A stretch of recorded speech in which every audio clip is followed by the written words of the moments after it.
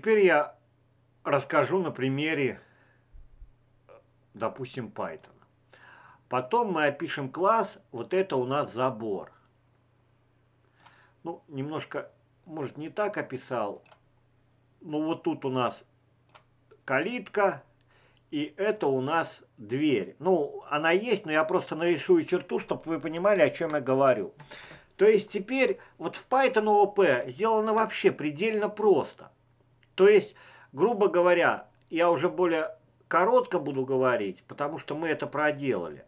Ну вот, грубо, как вы понимаете. Дальше, если мы хотим построить забор, мы так и делаем. Пишем класс И когда мы пишем класс забор, мы уже включаем полностью, ребята, логику.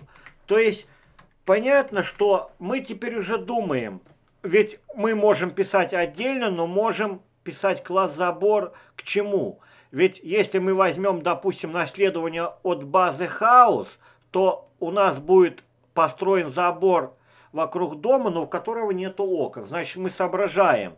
Ну, наверное, логичнее будет Опять, видите, логично. То есть здесь ничего нет супер хитрого. Мы, пожалуйста, логичнее будет откуда?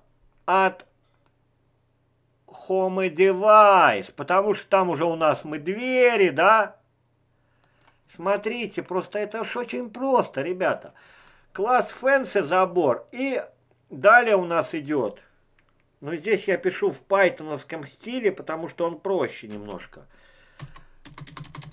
И здесь мы описываем, описываем забор. То есть вы поняли сам смысл. Но я другое.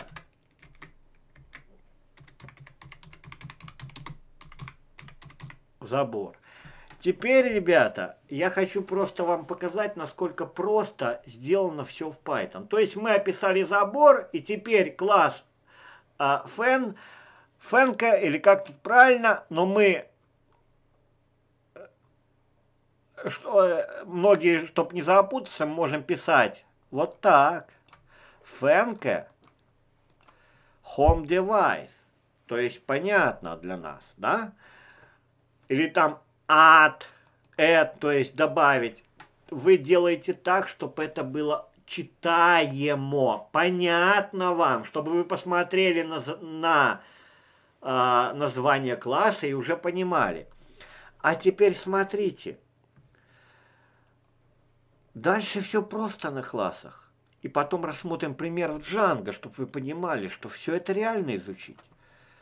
Смотрите, мы пишем два отдельных класса. Первый класс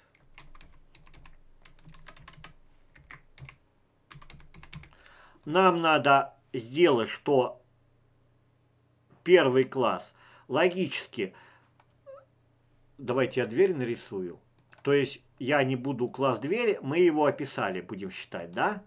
Но вот это у нас дверь. Дверь такая вот.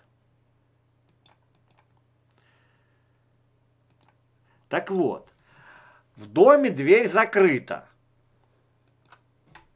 Класс. И он ни от чего не наследует сейчас. Сейчас поймете смысл. То есть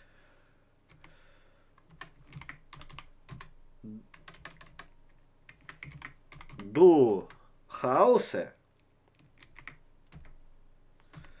может неправильно написал, и мы пишем.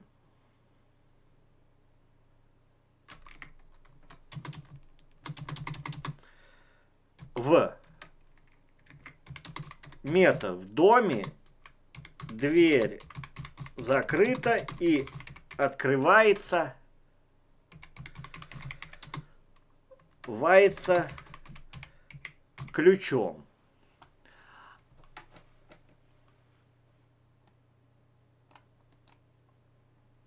А вот второй метод пишем. Не метод, а класс. Класс. А,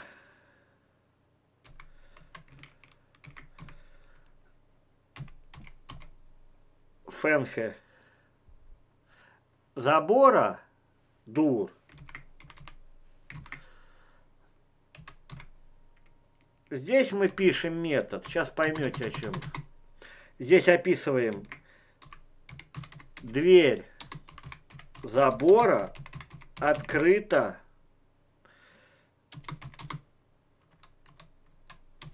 и только на щеколде. Так вот, вот принцип сейчас показываю в этом. Только их я не разместил, их надо было разместить выше, потому что читается. Теперь смотрите, что происходит. То есть все банально просто. Вот у нас есть дом. Дом, устройство дома. И чтобы сообщить вот этому классу Home Device, что дверь закрыта, мы просто-напросто в аргументы, да, вот это где скобочки, добавляем вот этот класс.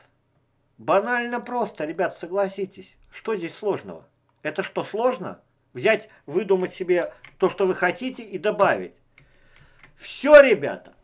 Теперь Home Device будет знать, что мы же описали дверь, что дверь, она закрыта на ключ. Просто. Ребят, ну банально просто. Может, вы просто не встречали такого объяснения, как я даю? Потому что у меня глубокое понимание за 8 лет, это понятно. Теперь вы будет понятно. Ну и все. А дальше вписывайте сколько хотите себе, что и дверь закрыта, что открывается только, допустим, автоматически, если, пожалуйста, добавляйте машинное обучение, сверили фотографию, открыли, да все что угодно, ребят, сам принцип. А вот этот, вот у нас home девиз забор, а сюда вставляем наш класс fancy door,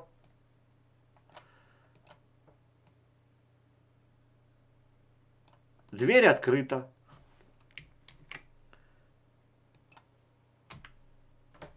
Это и есть вот настоящее объектно-ориентированное программирование. Мы же... Я не то вставил.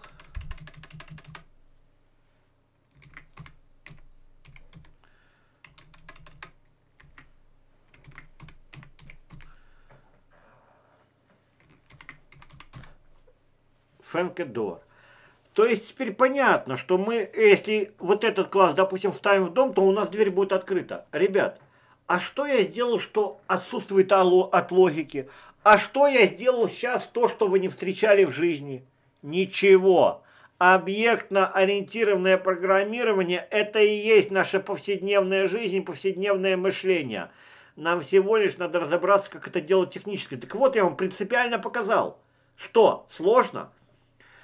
Но давайте рассмотрим это теперь конкретно в Django. На примере вот конкретного кода. Ребят, ну ничем не отличается, и все банально просто.